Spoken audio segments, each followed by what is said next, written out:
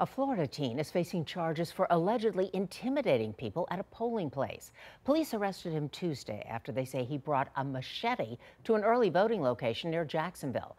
Megan Moriarty has the story.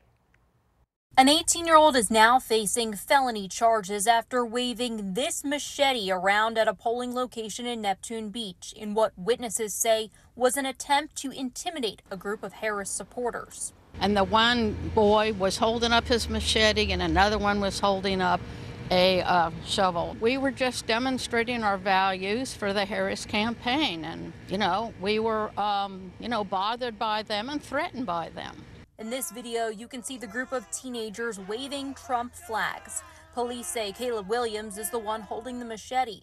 The woman I spoke with is one of the victims listed in the police report who didn't want to show her face on camera after the incident but agreed to tell us what happened. The 71 year old says she and other women were outside the beach's branch library, standing in the designated area for volunteers and supporters. And eventually they made their way over to us, and we turned to them, and the one one boy was actually waving the flag right in my face, and we weren't moving.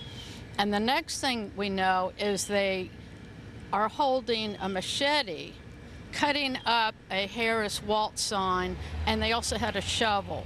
A Neptune Beach police report says when officers arrived, Williams was standing next to a truck with a machete in the bed of it in plain view. Williams was charged with aggravated assault and improper exhibition of a weapon. He had his first appearance in court this morning, was given a bail of $55,000. He's also banned from being within 1,000 feet of a polling location unless he's voting.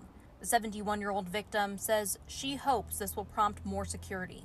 This is part of our right. It's a very, very important election. It's a very, very important decision.